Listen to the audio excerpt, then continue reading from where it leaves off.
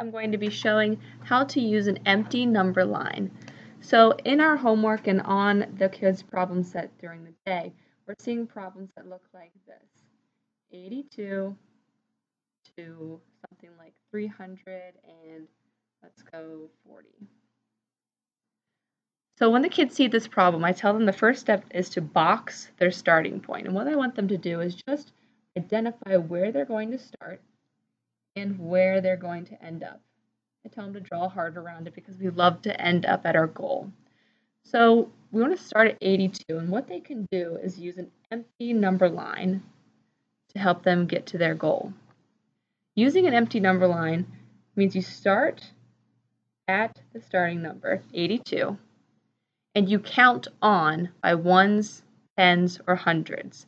The first step is to ask yourself, should I count by ones, tens, or hundreds. 82 is not a nice number to count on by tens or hundreds. So I tell the kids we need to get to a benchmark number, and a benchmark number is the next 10. Getting from 82 to the next 10 would mean we'd want to use ones. The next 10 is 90, so let's count by ones. 82, 83, 84, 85, 86, 87, 88, 89, 90. And we will label that benchmark right there.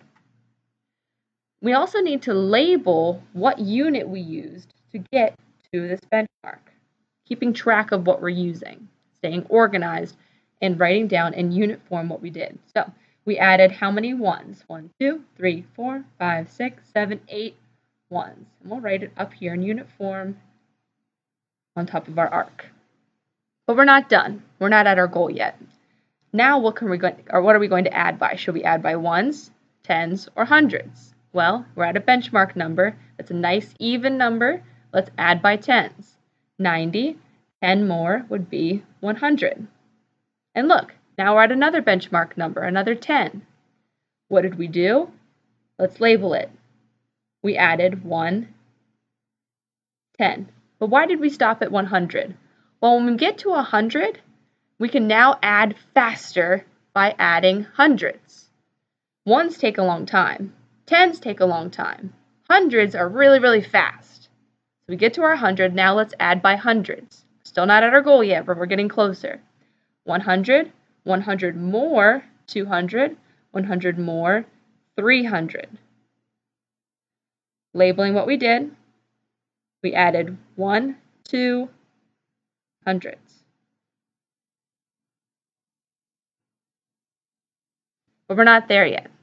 I'll ask the kids, why did we stop at 300? Why didn't we keep going with our hundreds? And they'll say, because it'll be, that's too much. We can't go anymore. We'll be over our goal.